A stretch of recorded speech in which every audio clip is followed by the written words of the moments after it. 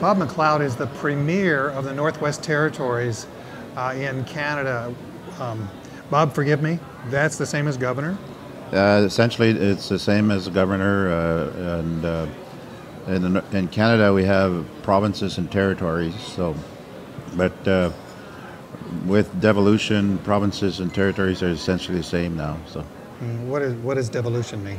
It means uh, these were the federal government uh, used to have all the uh, responsibilities, uh, provincial-like uh, responsibilities, where the federal government owned the land, the resources, they would collect the royalties. With devolution, we've taken over those responsibilities, so we are now the same as a province, but uh, because of our small population, we're not exactly the same. I see. Now, while you have a small population, you've got a huge territory. That's that's right. we are uh, 43,000 people. We're 1.7 million uh, square kilometers, so mm-hmm. it's uh, about twice the size as Texas. Wow. Yeah. And but you're natural resource heavy. We have very significant uh, natural resources. Northwest Territories is uh, third in the world in the production of diamonds. So if you want to buy diamonds, uh, you come to the Northwest Territories, and uh, we're behind Russia and Botswana, but ahead of South Africa, and we have uh, very significant uh, oil and gas uh, resources. Mm-hmm. Our oil and gas potential is 10 billion barrels of oil and about 92 trillion cubic feet of gas. So our problem is trying to uh, find a way to get it out of the ground and get it to market. So, be, and essentially, those resources are stranded right now. Stranded? How so?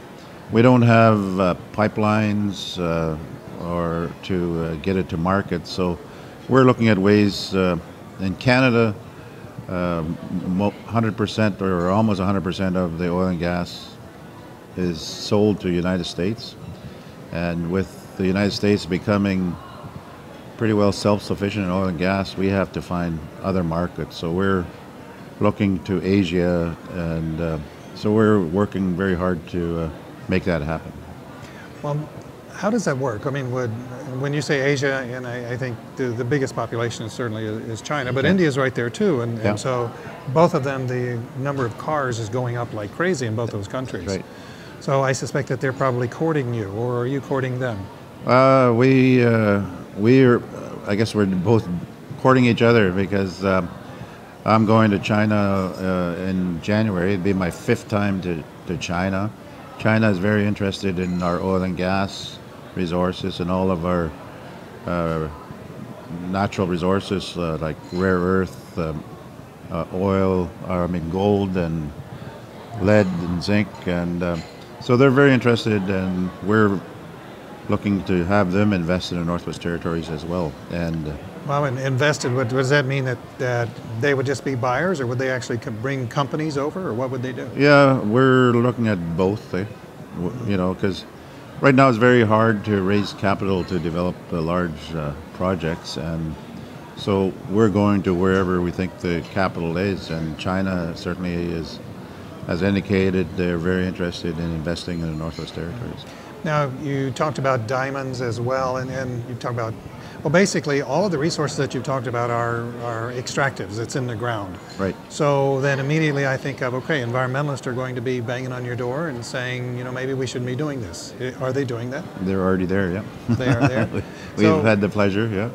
So what's, what's the response? I mean... Um, well, our response is uh, because we, we come from a background of Aboriginal people Aboriginal people that lived off the land, so there's a very uh, strong relationship with protecting the land and the environment, and uh, we see ourselves promoting balanced development where we can have de- development while we're protecting uh, the land and the environment. We have very rigorous uh, regulatory processes uh, that make sure that uh, we put in place measures when we develop that to uh, mitigate uh, the effects of development. Let's go to diamonds for a minute because that's something that uh, you know Diamonds are a girl's best friend. That's they, right, They yeah. say. Yeah. Uh, but the but the question is is um, how do you mine diamonds these days? Is it changed? Because we're here in an innovation conference. Is somebody saying well, I've got a different way to mine diamonds?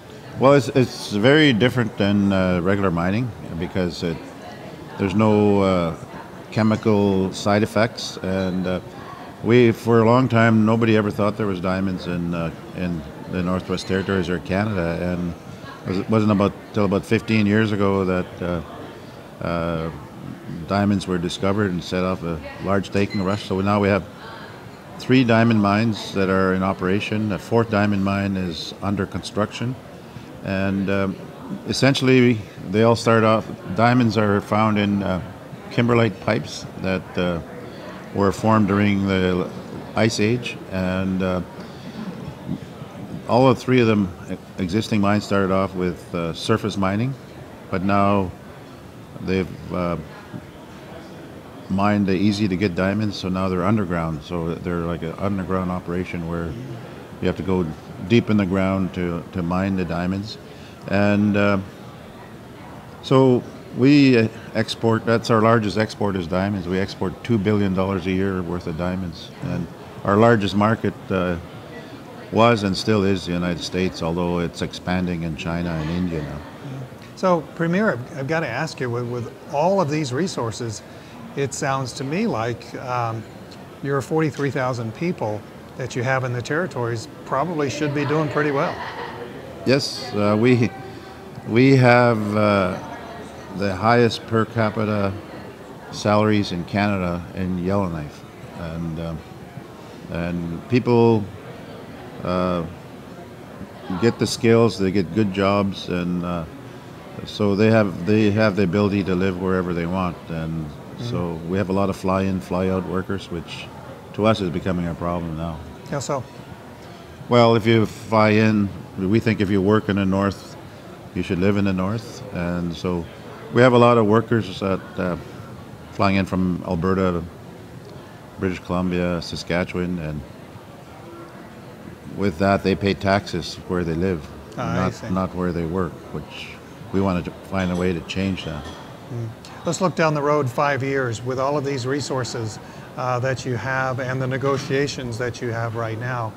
What do you think uh, Yellowknife and the Northwest Territories is going to look like in five years? Oh well, you know we we we also have other resources like we have tremendous uh, hydro generation potential. So in five years, I think we uh, expect our population to grow. We expect to have our GDP to double.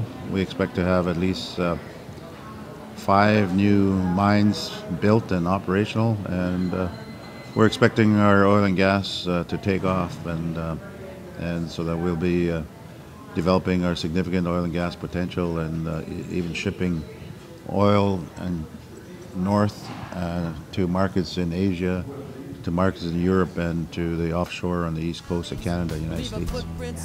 Premier, thank you very much for Thank you very much.